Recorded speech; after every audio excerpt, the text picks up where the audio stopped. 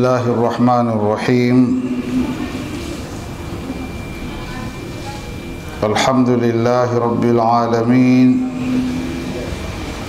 والصلاة والسلام على رسول الله صلى الله عليه وسلم وعلى آله وصحابته والتابعين لهم بإحسان إلى يوم الدين. أما بعد. سبحانك لا علم لنا إلا ما علمتنا إنك أنت العليم الحكيم. رب اشرح لي صدري ويسر لي أمري واحلل عقدة من لساني يفقه قولي. نويت التعلم والتعليم والتذكر والتذكير والنفع والانتفاع والإفادة والاستفادة والحث وتمسك بكتاب الله وسنة رسوله صلى الله عليه وسلم. Jana tuliendelea na somo letu tukawa tumezungumzia yale yaliyozuiliwa kwa mwenye kuhirimia ibada ya hija ambayo tumeyaelezea ambapo tukasema kuna saba ambayo yanamhusu mume na mke kwa pamoja nako tukasema ni kuondoa nywele au kuzinyoa, kukata kucha, kujipaka manukato, kuwinda wanyama pori na kadhalika, kufunga ndoa ama kuoa, na tukaelezea tendo la ndoa, wanandoa wawili kukutana kimwili na kadhalika mambo yale ya mukaddima, kubusiana ama kumbusu huyo ama kumshika kwa matamanio, tukawa tumeyaelezea saba kwa ujumla wake, ambayo hayo yanawahusu wote waume na wanawake. Lakini pia tulizungumzia ambayo ni haramu kwa mwanamume peke yake baada ya kuhirimia ibada ya hija tukaelezea ambayo ni mambo mawili: kuvaa nguo iliyoshonwa na kadhalika kujifinika kichwani, ima kutumia kitambaa ama shuka au chochote, kuvaa kofia na kadhalika, isipokuwa tukasema kama atatumia mwamvuli kwa ajili ya kujikinga jua ama mvua hilo halina tatizo, kwa sababu mwamvuli haupo katika hukumu ya kile ambacho kinafinika kichwa. Na pia tukazungumzia jana hiyo hiyo yale ambayo yaliyopigwa marufuku kwa mwanamke peke yake kuyafanya akiwa tayari ameingia katika ibada ya hija, nayo ni mawili. Tukaelezea kwanza, niqabu ni marufuku mwanamke kuvaa niqabu. Eh, la pili kuvaa eh, gloves mbili hizi ama soksi za mikono. Tukasema katika masala ya niqabu, kama atajiziba mbele ya uso wake kulingana na wanaume anaokutana nao mwanamke, hakuna ubaya. Kilichokatazwa ni ile nikabu, sijui tumeelewana. Na pia tukazungumzia aina ya yale yaliyopigwa marufuku kwa yule mwenye kuhirimia ibada ya hija katika kuzingatia fidia yake. Tukasema haya yanagawanyika mafungu manne. Tukasema fungu la kwanza katika hayo manne ni yale ambayo fidia yake ni fidia ya um, udhia au maudhi mtu anayoyapata katika mwili wake eh, kama mtu pengine ndani ya mwili wake kuna jambo linamuudhi eh, na akalifanya ambalo limepigwa marufuku, basi atatakiwa kuchinja mnyama au kulisha maskini sita au kufunga siku tatu. na pia tukazungumzia katika kifungu cha pili katika vifungu vinne, kuna yale ambayo mtu akiyafanya hana fidia atakayotakiwa kuitoa. Eh, nako ni kufunga ndoa ama kwenda kupeleka posa ama kuchumbia. Kule Maka kule, ashahirimia akafunga ndoa na mke, pengine nyewe ameondoka hapa, bwana, mimi na wewe tukaoane Maka, takuwa vizuri zaidi eh, twende Maka tukafanya ndoa yetu kule. Walipofika miikati wakanu, wakahirimia ibada zao ya hija kila mmoja, halafu bada, kabla hawajaepukana na kutoka katika ile tahaluli ya kwanza ambayo pengine ameshafanya umra, baada ya umra akafanya saa ikiwa amechukua hija ya tamattu'i baada ya hapo ruksa kuoana na mambo mengine yatafanyika, lakini kabla haya hajafanyika, au pengine kafanya umra na sa'i yake siku ya hija kati akahirimia hija kabla hajatokana na ile tahalluli ya kwanza, yani kuvua ile, yani ile hiramu yake aliyoiweka, sio mvazi, ile nia yake aliyoiweka ya hija baada ya kupiga jamratul aqaba vijiwe saba katika kile kikuta kikubwa na akanyoa. Sawa, na kadhalika, pengine akachinja. Sawa, akaamua yeye kwamba kabla ya kuwafanya haya aingie kwenye ndoa. Huyu anaambiwa hana cha kutoa fidia, lakini ibada yake ya hija ataifanya ikiwa ndani yake kuna madhambi aliyoyapata yule mtu. Lakini kufunga ndoa hakutoharibu hija yake, na kadhalika, wala hatuambiwa kwamba wewe kwa hili ulilolifanya, hapana. La, yeye anaambiwa ndoa ipo, lakini hija yako ipo, lakini maal ithmi, pamoja na kupata madhambi. La tatu tukasema kuna lile ambalo fidia yake ni kubwa nzito, nako ni kufanya tendo la ndoa, mtu na mkewe wakakutana kimwili au hivyo kwa maana nyingine wakashikana shikana katika ile tamaa ile na hamu ile kwa ladha ile na matamanio. Hii filia yake ni kubwa, tofauti na ile hayo mingine, ni katika moja ya mambo makubwa. Lakini la nne pia tukasema ni lile ambalo fidia yake mtu akilifanya basi malipo yake atatakiwa kuchinja mnyama sawa na yule aliyemuua.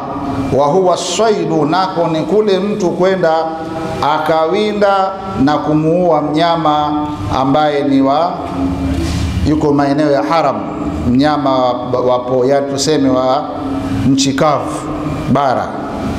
Kwa hiyo haya manne tukayaelezea jana eh, na kadhalika na mingineyo tukawa tumeishilizia jana katika kukamilisha lile ambalo mala fidyata fihi, marufuku ambayo imepigwa ama kilichozuiliwa baada ya mtu kuhirimia, lakini akikifanya hana fidia katika hilo jambo. Aqdu nikah ni kufunga ndoa, walkhitba na kupeleka uchumba ama posa kule kule Maka. Bwana, naomba wende kwa yule bibi, mwambie mimi nitaka na yule naye akaenda. Pengine baba mzazi wake yuko pale pale, eh, bwana alhaji fulani anasema nataka binti yako, kapeleka posa, ili ni kosa sawa. Baadaye ikafungwa ndoa Maka, kabla hawajatoka katika ibada ya hija, pengine bado yuko katika kuendelea kutekeleza ibada ya hija liqauli nabii sallallahu alayhi wasallama la yankihu lmuhrimu wala yunkahu wala yakhtubu akhrajahu Muslim. Mtume anasema sallallahu alayhi wasallama, asiowe aliyekwisha hirimia ibada ya hija na bado anaendelea na kufanya ibada ya hija na wala hajatoka katika ibada ya hija kwa kupiga vijiwe vile saba katika kikuta kikubwa na kunyoa, wala vile vile asiozeshwe, asiozwe huyo, sawa. Wala yakhtub, wala asipeleke posa, akapeleka posa ya uchumba. Kwa maana nyingine, yahrumu aqdu nikah wal khitba ala almuhrim, ni haramu kufunga ndoa na, ku, na kuchumbia ama kupeleka posa kwa yule mwenye aliyekwisha hirimia ibada ya hija. Wala yasihu wala haitaswihi sawaun kana almuhrimu alwaliya, ni sawa yule aliyekushahirimia kuwa ni walii wa yule binti au zauja au mume au zaujata ama mke. Wala fidyata fihima, wala hakuna cha kutoa fidia katika hayo mawili, kuoa na kupeleka posa ama kuchumbia. Walakin maa lithmi, lakini huyo atakuwa ni mwenye kupata madhambi katika lile alilolifanya. Hilo ndilo ambalo jana hatukulimalizia. Ama leo tunaingia almahdhuru ma fidiyatuhu mughalladha kuna lile ambalo lililokatazwa na kupigwa marufuku kwa yule aliyekwisha hirimia ibada ya hija, ambayo fidia yake ni kubwa nzito, nako mubasharatu nisa. Eh, ni muingiliano kuwa yani kushikana na mwanamke ama kumbusu kwa matamanio, na wewe uko katika ibada ya hija. Eh, wakasema hapa yani ukamshika mwanamke kwa kumbusu, lakini kwa matamanio, mkeo, lakini sio mwanamke. Tuelewane hapa, ni mtu mke wake, wamekwenda hija. Katika ibada ya hija, bado hawajavuka katika hawajajiondoa katika ile ihram, kwa maana kupiga vikuta kikuta kile mawe siku ya mwezi kumi au kabla ya hapo na kadhalika, na kunyoa. Sawa eh? Kunakokusudiwa hapo mulamasatuhunna bima mimma huwa duna aljimaa, kugusana au kuwashika wale wanawake, lakini bila ya tendo la ndoa, lakini kwa matamanio kalqubla, kama vile kumbusu, wallamsu, kumshika, biqasdi ladha, unamshika ama unambusu ili ujisikie ile matamanio ujisikie raha, umemshika mtu kao na matamanio. Walakin la tufsidu nusuka, lakini hilo la kubusu ama kumshika mwanamke kwa matamanio haliharibu ile ibada ya hija, sawa.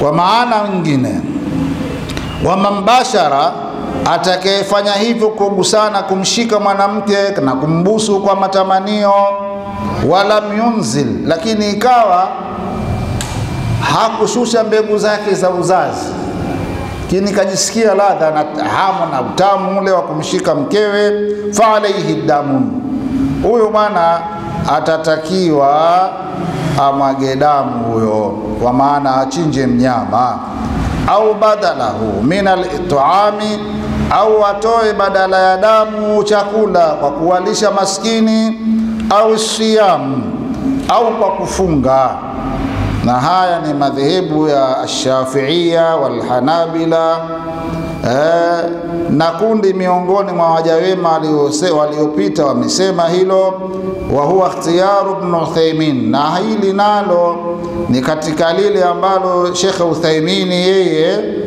amelichagua hilo kwamba ndilo linalofaa. Wama mbashara, lakini atakayembusu mke wake ama kumshika biqasdi ladha, kwa kukusudia kupata ile ladha na hamu, faanzala eh, akapata mtihani katika kule kumshika, mambo yakaharibika, eh, akatokwa na shahawa zile, lam yafsulu nusuhu, ile ibada yake ya hija haiharibiki. Wa alaihi fidyatul adha, lakini ni juu yake yeye kutoa fidia ya udhia ule aliyoufanya, au badala yake min itami au siyam, ama badala ya kutoa fidia ya kuchinja mnyama na hana mnyama wa kumtoa wa kumchinja, basi atoe badala ya huyo mnyama, maana yake awalishe maskini sita. Na haya ni madhehebu ya Imamu Shafiia na kadhalika Abu Hanifa na kadhalika Sheikh Uthaimini. Kauli hii ameiunga mkono kwa namna nyingine. Waqala Sheikh Shinkitiyu, ilam anna ahla lilmi, kwamba watu wa ilmu. Sheikh Shinkiti amesema hakika wanawachuoni ahlul ilmi muttafiquna ala muqaddimati aljimaa, wamekubaliana wote kwamba kufanya hilo ni utangulizi wa kuliendea lile tendo la ndoa eh, kupatikana mwingiliano baina ya mke na mume kufanya lile tendo. Kwa hiyo na maana yake yale yani, ile bashara ni ile wanasema ni mukaddima, utangulizi. Sijui tumeelewana. Kabla ya, ya kufanya lile tendo la ndoa, kuna mambo yanafuatia hapa. Miongoni mwa hayo kumbusu, kumshika eh, mwili katika sehemu zake za mwili kwa kumpata ladha na yeye mwenyewe. Sawa eh? Kama alivyosema Mwenyezi Mungu, alhaju ashhurun maalumatun, hija wana ina miezi maalum. Kwamba ya kuhirimia ibada za hija, nayo ni Shawali, Dhulqaada na zile siku kumi za mwezi wa mfungo tatu. Faman faradha fihinna alhajja, Allah anasema na yule atakayekusudia katika hiyo miezi hiyo maalumu iliyotajwa Shawali na Dhulqaada na Dhulhijja, akakusudia katika hiyo miezi kutekeleza ibada ya hija, fala rafatha wala fusuqa, basi asifanye vitendo vichafu wala asifanye maneno, yani asifanye uovu wowote, wala jidala fil haji, wala asilete majadiliano na mabishano katika ibada ya hija.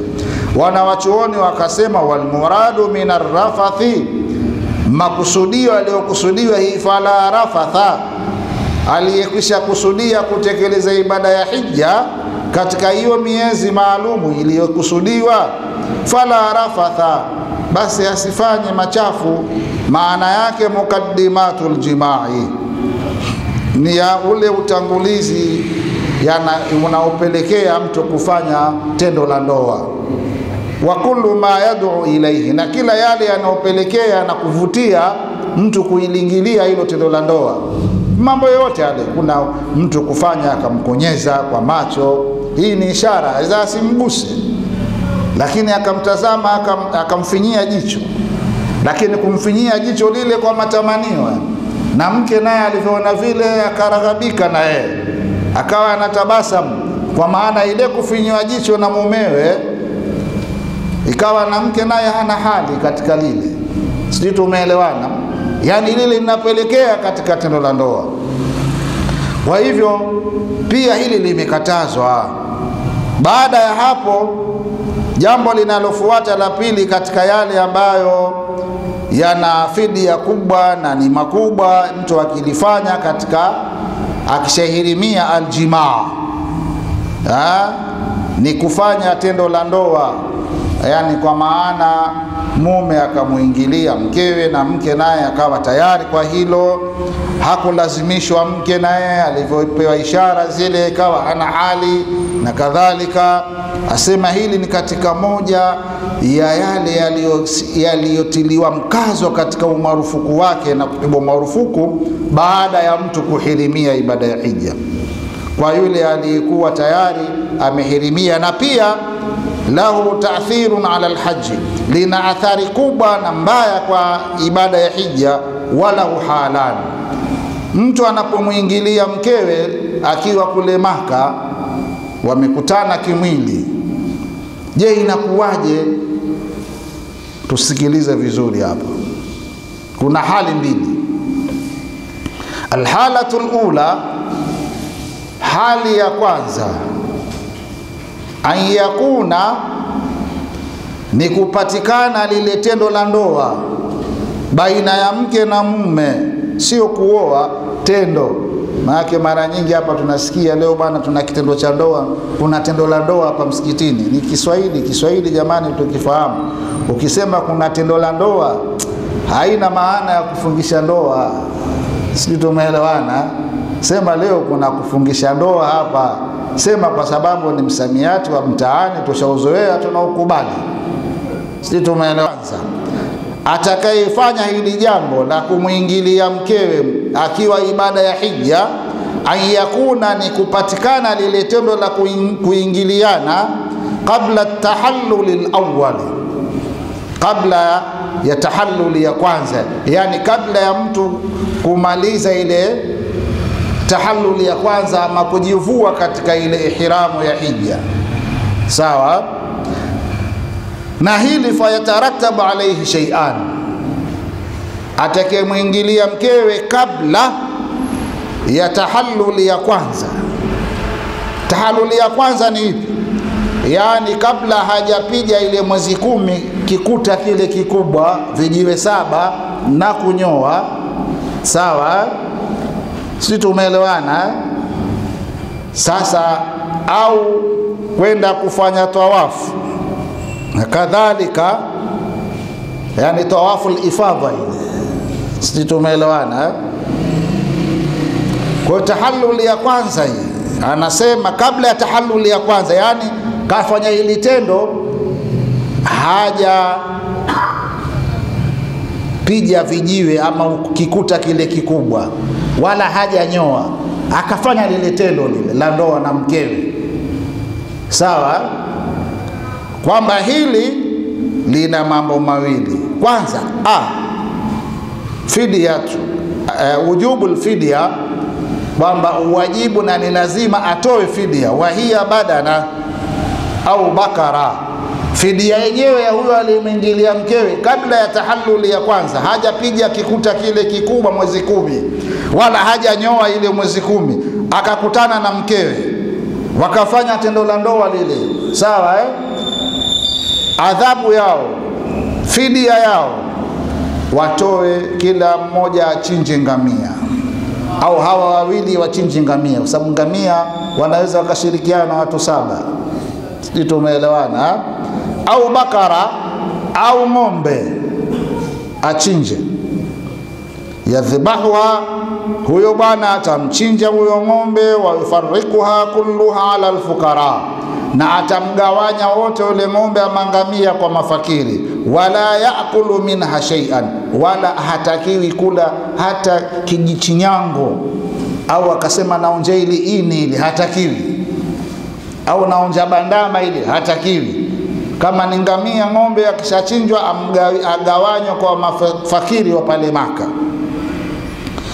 Ba kipengele cha pili kinachofuata baada ya kuchinja huyo mnyama, mke na mume, fasadu lhaji alladhi hasala fihi ljimaa, ile haji yo ile hija yote imeharibika, ambayo kilipatikana kile kitendo cha kuingiliana baina ya mke na mume kabla ya taharuli ya kwanza, lakin yalzam itmamuhu wa qadauhu min alsanati alqadima biduni taakhiri, lakini watatakiwa na watalazimika hawa wanandoa wawili kukamilisha ile ibada ya hija kwa matendo yote, lakini kuja kuilipa mwaka unaofuata bila ya kuchelewesha.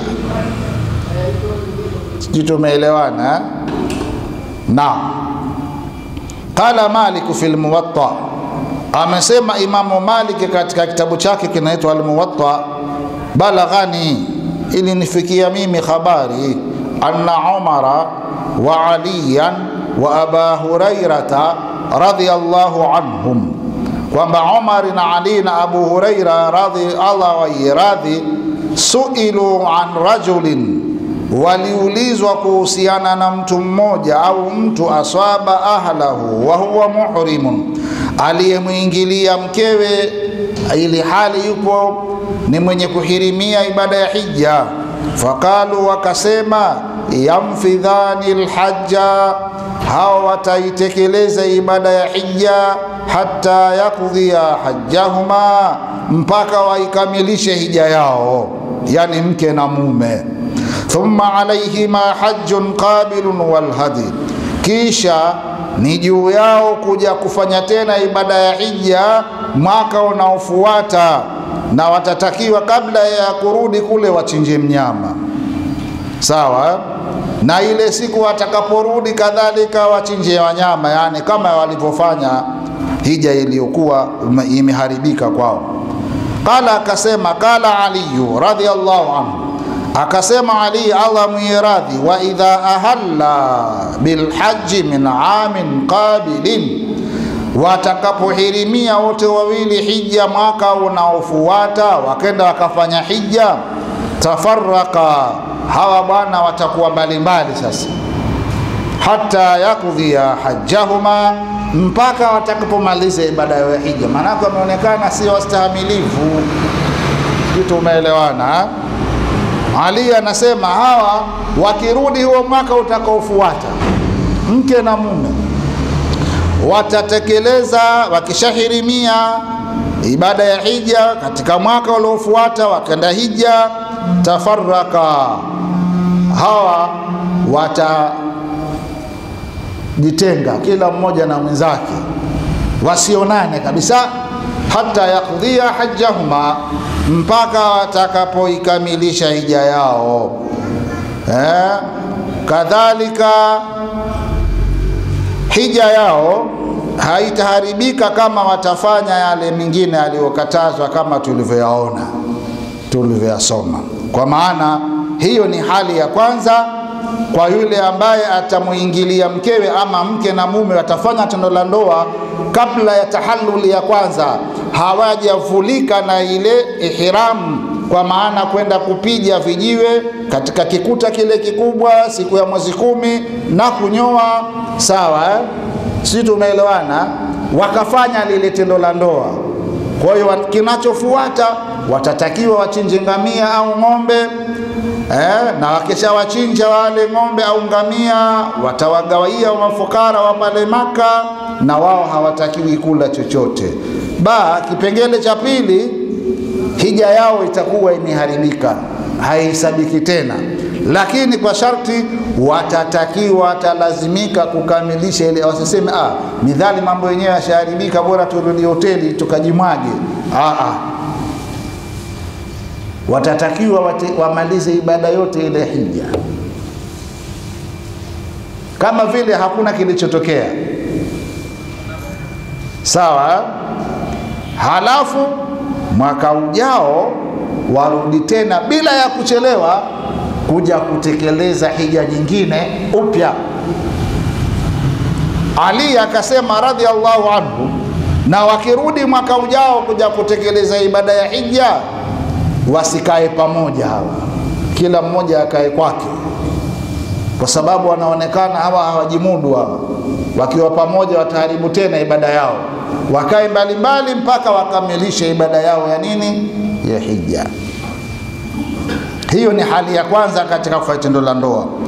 Huyu ni yule ambaye kafanya hija, kafanya tendo la ndoa na mkewe kabla ya tahalluli ya kwanza, yani kabla ya kujivua wote wawili na ihramu ile ya kwanza, maana yake kabla ya kupiga vijiwe saba katika kikuta kikubwa na kunyoa, wakafanya ili tendo la ndoa. Hao ndo wana wanatakiwa hija yao imeharibika, ila watatakiwa wakamilishe ibada ya hija, lakini watoe fidia ngamia. Kama ngamia hawana, wachinje ng'ombe. Alhalatu thania, hali ya pili, an yakuna aljimau bada tahalluli lawali ni kupatikana tendo la ndoa lakini baada ya tahaluli ya kwanza, yaani wale watu mtu na mkewe mwezi kumi walikwenda wakapiga bawe katika kikuta kikubwa, halafu wakanyoa, sawa eh? na pengine wanyama washachinjiwa. Kabla ya kufanya tawafu ile alifadha ya hija, wakakutana katika tendo la ndoa, lakini washapiga mawe, washanyoa tayari sisi tumeelewana, mambo yakawashinda, wakakutana kimwili, wakafanya tendo la ndoa. Sisi tumeelewana, yaani baada ya kupiga mawe katika kikuta kikubwa na kunyoa, wa kabla tawafu lifadha, na wakafanya lile tendo kabla ya tawafu ile ya hija. Falhaju sahih, wanasema wanachuoni, hija yao ni sahihi, haijaharibika lakin yalzamu yalzamuhuma shay'ani ala almashhuri min almadhhab, watalazimika kufanya mambo mawili kwa kauli iliyokuwa mashuhuri katika madhhab ya maimamu wanne. A, fidyatu shatun. Unaona huyo hapa, huyu sio ng'ombe wala songamia, kwa sababu walifanya tendo la ndoa baada ya kupiga vijiwe saba katika kile kikuta cha mwisho ukitokea Maka cha mwanzo, sawa eh? na wakanyoa, halafu baadaye eh, zungurupitu wakaonana, mambo yakawashinda, wakakutana kimwili, lakini washapiga mawe, washanyoa. Tatizo hapa hawajafanya tawafu ile ya hija, inaitwa tawafu ifadha. Hawa hija yao ni sahihi, haikuharibika sawa, lakini watataka, watatakiwa wafanye mambo mawili. Kwanza, fidyatu shatun, kila mmoja achinje mbuzi ama kondoo, na watamchinja yule mbuzi au kondoo na watawamgawanya wote kwa mafakiri wa Maka, na wala wao hawatatakiwa kula hata chembe ya yule mnyama. Ba baada ya hapo, an yakhruja ila lhilli, watoke pale Maka kama wako Mina, waende nje ya mipaka ya haram, kama watakwenda Arafa kama watakwenda Tanim, lakini nje ya mipaka ya haram. Fayujaddida ihramahuma, waende wakaijadidi kuirinyuu ile nia yao ya, ya kuhirimia hija, yani watakwenda katika nje ya mipaka ya haram, watoke kwenye haram ya Maka, wakifika kule wanuie tena wahirimie upya, waseme labbaika hajjan labbaikan hajjan, hawatonuia umra. Sawa, pale ni hija ndio iliyoharibiwa. umru washafanya tayari, washamaliza mwezi tisa, walihirimia hija. Kwa hiyo watatoka, watakwenda nyuma ama nje ya mipaka ya haram, watoke haram kabisa, wawe sehemu ambayo si haram. Pale sasa wa irinyuu ile ihramu yao ya hija, kila mmoja asema labaika hajjan, sawa. Kila alafu kabla ya hapo watavaa, kama ni mume atavaa kikoi chake kile cha chini, nguo nyeupe ile, kama ni shuka, na ile ridaa nyeupe ataivaa. liyatufa lilifadha muhriman, ili waende wakatufu tawafu lifadha wakiwa wamehirimia. Sisi tumeelewana eh? Kwa hiyo hawa kidogo wamenusurika na hija yao kuharibika, kwa sababu kilichowanusuru ni kipi? Walishapiga mawe na washanyoa, lakini baadaye walivyoonana mambo yakawashinda, wakakutana kimwili. Hawa hija yao ni sahihi, lakini wat, watalazimika mambo mawili. Kwanza, kila mmoja achinje mbuzi au kondoo, sio ngamia tena. Hii huyu hawa kidogo wamenusurika. Halafu watamga wale kondoo, kila mmoja atagawiwa mafakiri wa Maka wale waliokuwepo, na wao wasile. Kipengele baa, watoke pale waende nyuma ya mipaka ya haram, kwa maana watoke ndani ya haram waende nje ya haram kule. Wakishafika fayujaddidan ihramahuma, watakwenda kuirinyuu eh? kwa sababu hija yao ni sahihi, si bado ipo hapa. Inachotakiwa ni kuninyuni sawa sawa na mtu ana udhu alafu akaenda akachukua udhu, sijui tumeelewana. Ni sawa mtu ana udhu wake akasema, ah, ngoja nkaujadidi kidogo, maana yake naenda ku, kuutia tena udhu, lakini anao sawa. Na hawa hija yao tumesema ni sahihi, ipo. Kwa wanachotakiwa wao wachinje mnyama halafu akishachinja mnyama wagawanywa wale wanyama wao kwa mafakiri wa Maka na wao wasile. Kipengele ba watoke ndani ya haramu waende nje ya haramu, watie tena nia, hija yao ipo, lakini wajadidi upya, sawa eh? wanainoa tena upya. Halafu kama ni mume atavaa kikoi chake na ile nguo yake ya juu, halafu watakwenda kutekeleza tawafu ifadha. tawafu ya nini? Ya hija. Sawa, wakiwa wamehirimia wote wawili. Hiki ni kipengele cha wale wanandoa wawili waliokutana kimwili.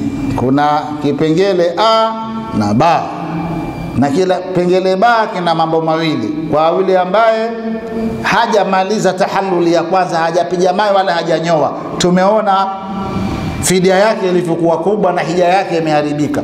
Ama aliyekushapiga mawe akanyoa, alafu akakutana na mkewe au na mumewe, hawa hija yao ni sahihi, isipokuwa tu la kwanza, watalazimika kila mmoja achinje mbuzi au kondoo, halafu watoke ndani ya haramu, waende nje ya haramu, wakaweke ihramu tena upya, labbaika hajjan, halafu waingie Maka waende wakafanye tawafu ile ya hija na sa'i yake.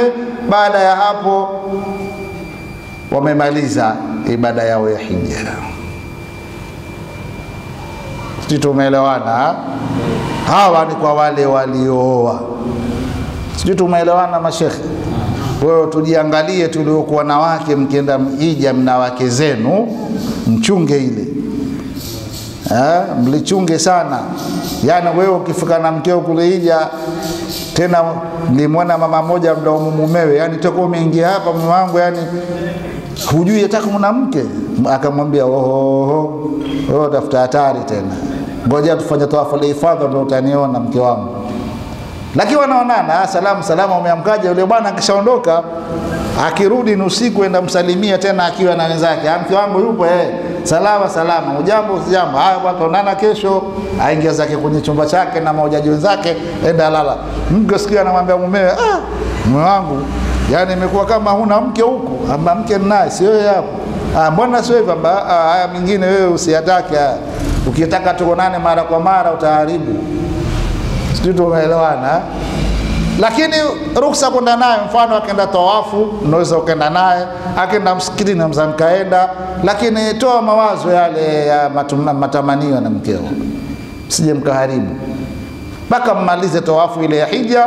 Baada ya hapo, hata mkenda mmeshikana, eh, mwakonyezana, hakuna tatizo. Hilo tumelimaliza katika masala hayo yanayowahusu wanadamu. Kipengele kinachofuata.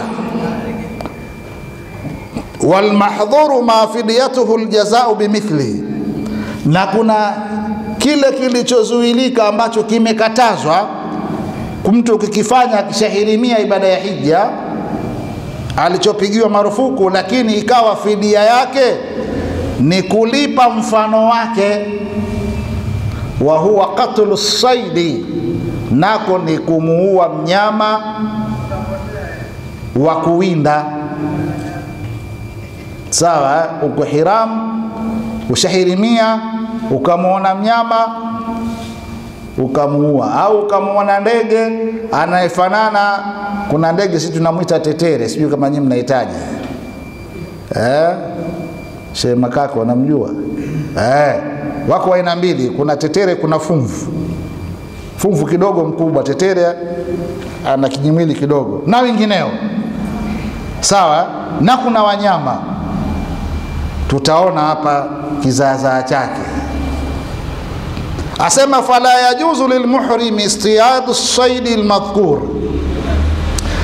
ni haijuzu kwa aliyekushahirimia ibada ya hija kuwinda mnyama wa mawindo anaiwindwa aliyetajwa hapo juu, wala katluhu, wala kumuua bimubasharatin moja kwa moja, yani yeye akahusika, au tasabubin, au yeye akasababisha ule mnyama kuuliwa, au i'anatin ala katlihi, au kusaidia yule mnyama kuuliwa, bidalalatin au ishara, kwa kutoa ishara au dalili kwamba yule pale mnyama ule muue, au munawalati silahin au nahwi dhalik, au yeye mwenyewe ukishika silaha alafu akamuua yule mnyama ama akampija kwa ajili ya kula. Sawa. Qala taala, amesema Mwenyezi Mungu, ya ayuha alladhina amanu, enye mda msiue wanyama wa kuinda wanyama pori, wa antum hurumun, na nyinyi wakati huo tayari mkiwa mshahirimia ibada ya hija. Ni aya ya 95 Almaida. Mungu anakataza hicho kitu.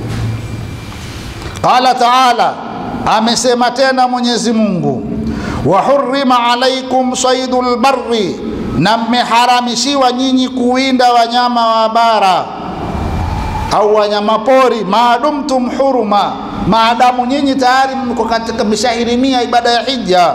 Wattaqullah, tazameni hapa, mwogopeni Mwenyezi Mungu, alladhi ilaihi tuhsharun, Mwenyezi Mungu ambaye kwake nyinyi mtafufuliwa na mtakusanywa. Kwa hiyo hili ni katazo karibio, ukishahirimia ibada ya hija usiue mnyama wala kuwinda. Wa amma alaklu minhu, ama kula mnyama aliyewindwa, sio wewe, lakini kawindwa na mtu mwingine, fahuwa aqsamu thalatha, kuna aina tatu. Sawa, alqismu alawwal ma qatalahu almuhrim au sharaka fi qatlihi eh?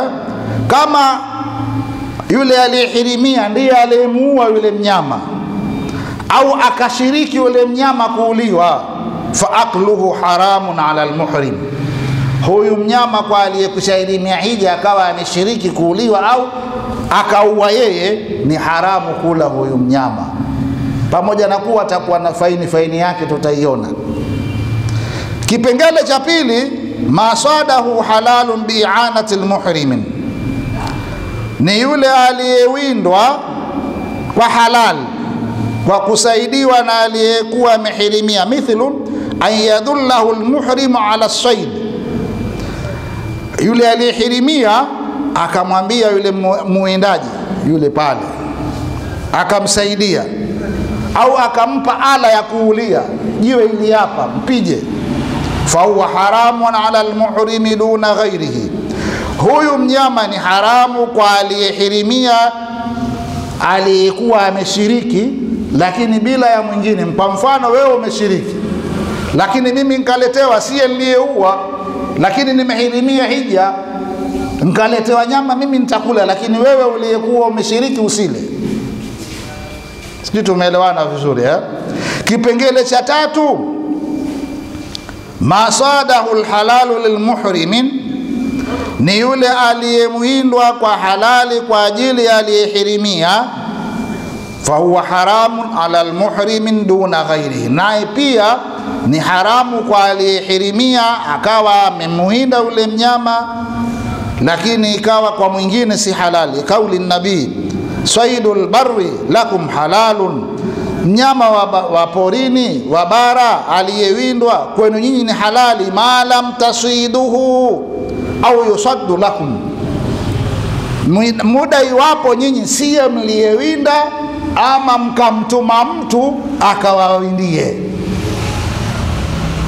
Lakini kama mtu yeye okay, ni halali kuwinda wanyama akamkamata kule kule kule katika haramu, sawa akaja akawauzia ama akawaletea nyinyi kuleni, yeye kwake ni halali, hana tatizo. Midhalika muinda hakutumwa na aliyekuwa aliyehirimia, akaleta nyinyi kuleni.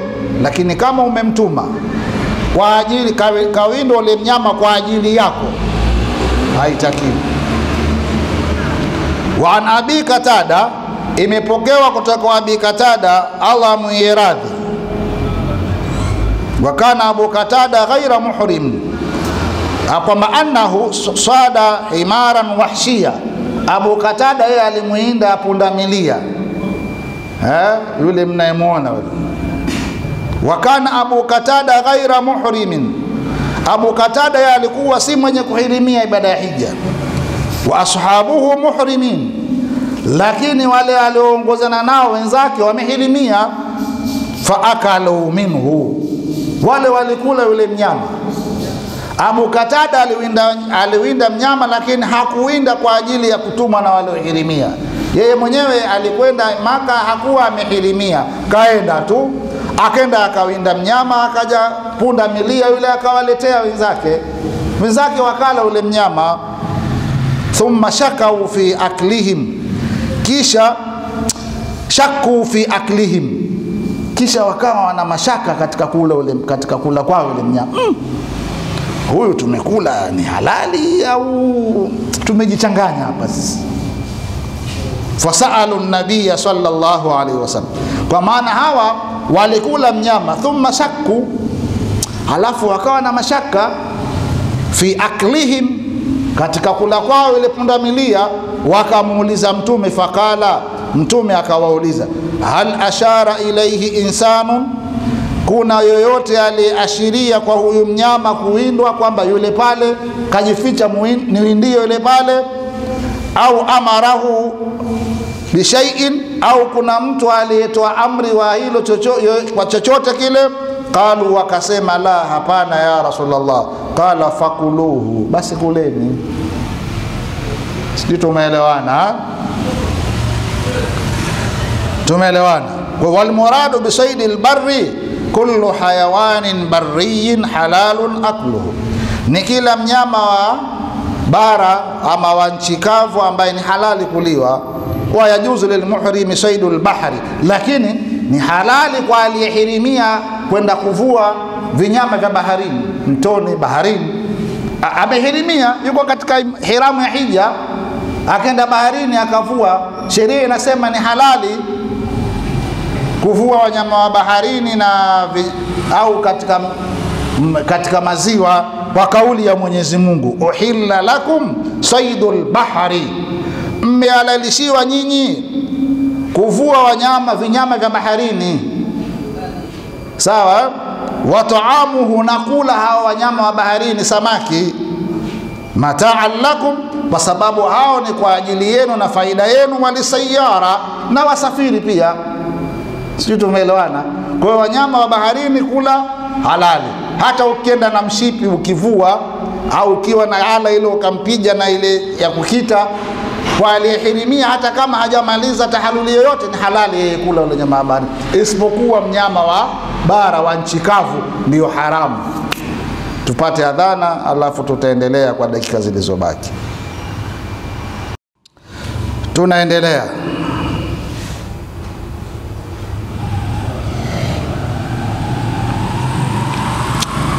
Kwa hiyo aya ama hili la kwanza linatufundisha kwamba wa idha qatala almuhrimu saida mutaammidan fa alayhi jazauhu, yule aliyekushahirimia ibada ya hija akimuua mnyama wa, wa kuinda kwa maksudi, fa alayhi jazauhu, basi ni juu yake kumlipa yule mnyama kama vile alivyokwisha muua. Qala taala Amesema Allah aliyetukuka, ya ayuha alladhina amanu, enye ambao kwamba mmeamini, la ta, taktulu saida, msimuue nyinyi ama msiue mnyama wa kuwinda, wa antum hurumun, ili hali nyinyi tayari mmeshahirimia ibada ya hija. Waman qatalahu minkum na atakayemuua miongoni mwenu mnyama huyo wa kuwinda kwa maksudi, fajazauhu mithlu ma katala minan naam, basi malipo yake atatakiwa kulipa mnyama sawa na yule aliyekwisha muua minan naami, katika wale wanyama wa mifugo. Yahkumu bihi dhawa adilin minkum tena hilo atahukumu yule ambaye wale wawili watu wawili ambao ni waadilifu miongoni mwenu, hadiyan baligha alkaaba, na mnyama huyo achinjwe katika mipaka ya haram au achinjwe Maka pale, asichinjwe maeneo mengine. Balighan eh, hadiyan baligha alkaaba, mnyama huyo apelekwe alqaba maana yake achinjwe pale haram sio pale tunapotufu pale, yani Maka. Au kafara, au atoe kafara. Taamu masakin, nako ni kuwalisha maskini. Au adlu dhalika siyaman, au badala ya hilo afunge, kama hawezi kutoa kuwalisha hao maskini wala kuchinja huyo mnyama. liyadhuka wabala amrihi, ili apate kuonja ubaya wa lile jambo lake alilolifanya. Afa Allahu amma salaf, na Mwenyezi Mungu ameshayafutia makosa na amesamehe yale yaliyokushapita mliyoyafanya. Waman ada, na atakayerejea, fayantakimu Allahu minhu, basi Mwenyezi Mungu atamwadhibu kwa hilo. Wallahu azizu dhu intiqam, na Mwenyezi Mungu ni mwenye nguvu na kushinda na ni mwenye kuadhibu. Sasa basi, kwa mfano faidha katala almuhrimu hamamatan mathalan, mfano aliyehirimia akamuua njiwa au yule tetere au fumvu, malipo yake atatakiwa achinje nini? Famithluha shatun, atatakiwa achinje mbuzi. Sisi tumeelewana? Achinje nini? Umemuua ndege, njiwa, sawa mnyama pori huyu, au pengine ndege ule wa porini, au njiwa pale haram, umemuua ukamchinja. Usifikirie utaambiwa utafute utafute kuku, la, bali fidia yake uchinje nini? Mbuzi. Saidi upo? Naam, uchinje mbuzi, sawa Halafu mgawanye kwa mafakiri wa haramu wale wanaoishi pale. Kama ata, ataua wanane, njiwa wanane au tetere wanane, mafumvu manane au watano, atachinja mbuzi wanane au mbuzi watano. Kila mmoja ana fidia yake, ana kafara lake. Usije ukaua watano ukachinja mbuzi mmoja, la. Ukiua ndege wanane utachinja mbuzi wanane. Sijui tumeelewana? Ukiua ndege watano utachinja mbuzi watano. Iwa ni kwa hiyo umemaua kwa pamoja, umetupa jiwe ukaua watano au mmoja baada ya mwingine. Kaua wangapi bwana huyo? Sita, utachinja mbuzi sita. Sasa hapo umemuua ndege, lakini unaambiwa uchinje nini? Chinje mbuzi. Sijui tumeelewana. Mungu kashasema hapa katika aya, si mmeiona hapo, fajazauhu Mith, fajazaun mithlu ma katala minan naami, malipo yake huyo atatakiwa kuchinja sawa eh? nyama sawa na yule aliyekwisha muua katika wanyama wa mifugo. Mungu hakutaja ndege hapa, Wanya, uchinje wanyama wa mifugo. Kwa hiyo ukimuua njiwa kule haramu, na wewe bado uko kwenye hiramu bado hujatoka katika hiramu, hujapiga jiwe wala eh, hujafanya lolote. Sawa, ukaua njiwa au tetere au fumvu au pugi, wanyama wa porini kama mnawajua ni watu wa maporini, si tumeelewana? Kafara lake ukimuua ndege yule uchinje mbuzi, lakini ukimuua mbuni sio mbuzi tena, sawa. Mbuni si ndege, lakini mbuni ukimwangalia akafanana na nani vile alivyo shingo lake na ngamia, waambiwa uchinje ngamia. Sijui tumeelewana mashekhe? Ama ukiwa ndege wadogo wadogo hawa, ukimuua mmoja mbuzi mmoja, ukiwa wawili mbuzi mmoja, ndege.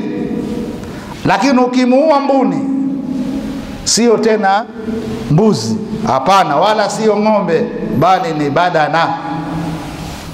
Utatakiwa uchinje ngamia. Wamemwangalia yule mbuni jinsi alivyo, sijui tumeelewana. Wakaona huyu afanana na ngamia jinsi alivyo, vile alivyo, akitembea shingo lake limekuwa refu lile, nyanyuka hivi eh? Sheria inakwambia sio uchinje, uchinje mbuzi bali uchinje ngamia. Ama ndege wengine hawa unatakiwa uchinje mbuzi. Sijui tumeelewana, tumeelewana jamani mashekhe? Tupo katika kufanya nini? Kuwinda wanyama, wanyama wa bara. Sasa hapo ameingia ndege, ameingia mbu, ameingia pundamilia, ameingia ng'ombe. Ukiua nyati nyati anafanana na nani kule katika wanyama wa mifugo? Ng'ombe, utatoa ng'ombe. Ukimuua swala, swala anafanana na nani? Anafanana na mbuzi, utachinja mbuzi au kondoo. Lakini ukimuua ndege, ndege ah, utatakiwa uchinje ndege, utatakiwa uchinje mbuzi bwana, sawa. Lakini ukimuua mbuni, sio tena uchinje mbuzi, bali uchinje ngamia. Kwa hiyo tukenda hija tuwe makini, lakini nadhani ili huwa haliwezekani kulifanya eh? Sijui tumeelewana eh? Tunamalizia ili mmeelewa vizuri darasa hili katika kipengele cha kuwinda wanyama na ndege, mmeelewa vizuri. Sasa tunakuja hukumu kwa yule ambaye amefanya vitendo baada ya kuhirimia akayafanya yale aliyokatazwa asiyafanye, kukata ukucha, kujifinika, sijui kunyoa nywele au kuvuta nywele, mathalani kujipaka manukato, lakini ameyafanya haya mambo kwa kusahau au kwa kutokujua, hukumu yake ni nini? Sawa, kwamba mtu akishahirimia hatakiwi kufanya chochote kile, kukata kucha, kunyoa nywele au kwa kuzivuta zile nywele, kujipaka manukato, kujifinika kichwani. Sawa, kama atayafanya haya mtu kwa kusahau au kwa kutokujua kwamba lina madhara gani, pengine hajasoma yeye, kaambiwa kuna hija tu, mwisho mwisho akaingia kwenye msafara, akenda akayafanya, maskini hajui au ajua, lakini akasahau, hukumu yake ni nini? hukumu yake huyo anasameheka. Sijui tumeelewana. Mwenyezi Mungu anasema walaisa alaikum junahun fima akhtatum bihi, hakuna madhambi juu yenu nyinyi kwa kile mlichokifanya kwa kukosea, walakin ma taammadat qulubukum, lakini mtapata madhambi na adhabu kile ambacho mtakifanya ambacho kimekusudiwa ndani ya nafsi zenu na nyoyo zenu. Sawa, wa kana Allahu ghafura rahima, na Allah Mwenyezi Mungu Subhanahu wa Ta'ala hakuacha kuwa yeye ni mwingi wa kusamehe na ni mwingi wa huruma. Na yeye mtume akasema, inna Allaha tajawaza li an ummati lkhataa wannisyana wamastukrihu alaihi, kwamba Mwenyezi Mungu amesamehe kupitia kwangu mimi kwa umati wangu kwa kufanya makosa bila ya kukusudia na kusahau na kutezwa nguvu. Labda mtu amekushikia kisu, kula mnyama kama ule, mimi nitakuchinja. Sawa, itabidi ule, na ukila yule hauna adhabu yoyote, kwa sababu umetezwa nguvu, umelazimishwa. Sijui tumeelewana. Kwa hivyo wewe umesameheka, ulisahau au kwa kutokujua ama anaijua alafu akafanya, ndo anaingia kwenye kwamba wewe usameheke.